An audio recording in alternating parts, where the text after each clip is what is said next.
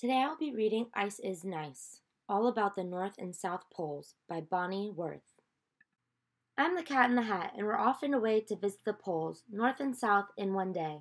It will be a quick trip in the SS Ice Chopper, my super slip sliding ice breaking pole hopper. The North Pole will be the pole hopper's first stop. It's the farthest point north on the earth. It's the top. Some call this the land of the midnight sun, What's wrong with this statement? Show us, thing one. To call this a land is an incorrect notion. The North Pole is located in the Arctic Ocean. Over most of this ocean, sea ice is floating, so only icebreakers are good here for boating.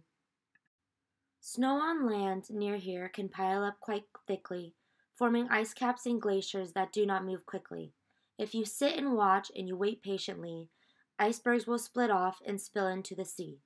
Icebergs are big and a danger to ships, much thicker than the sea ice our icebreaker flips.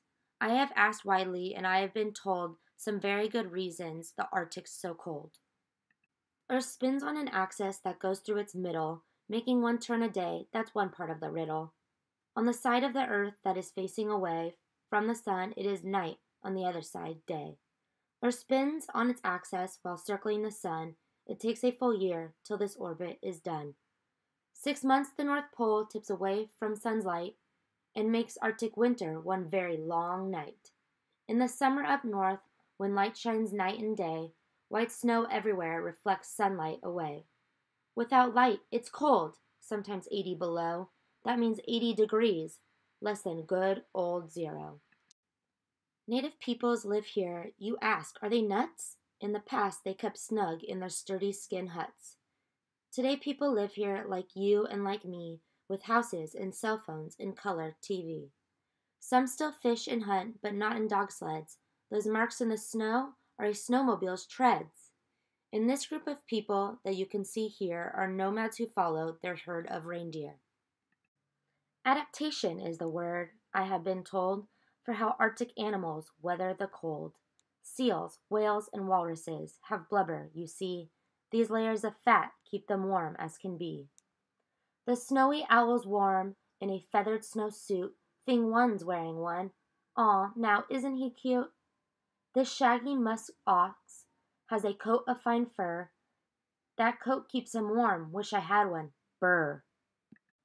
I will say this to you, and I think it is fair, that the king of this pole is the great polar bear.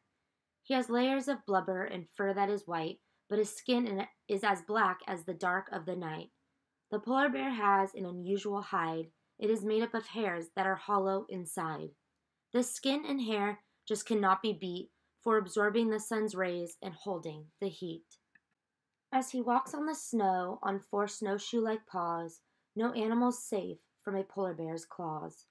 In winter, the foxes blend into the snow. White fur camouflages them quite well, you know.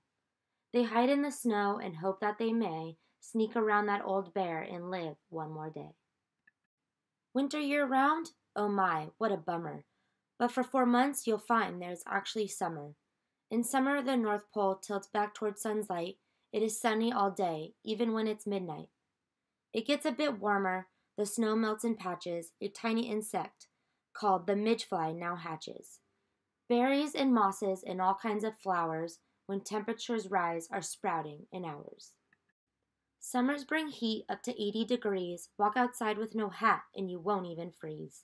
The owl and the fox turn brown like the hare and blend into the land when it is warm there. This place can get lively, it's true, mark my words, when the caribou come by the thousands in herds. They've come many miles, it's called a migration. They give birth on the way, it's no spring vacation. They've come north to graze as long as it's warm and head south before the first autumn storm. Speaking of south, it's time we hop. The South Pole will be the pole hopper's next stop. While the North Pole is found in the water, you see, the South Pole's on land, and take it from me. Antarctica's valleys and its mountains steep are buried in ice that's at least two miles deep. One look at this chart in my hand will make it clear when it's summer up north, it's winter down here. If you thought that the north was a cold place to be, the south can get colder, by far, believe me.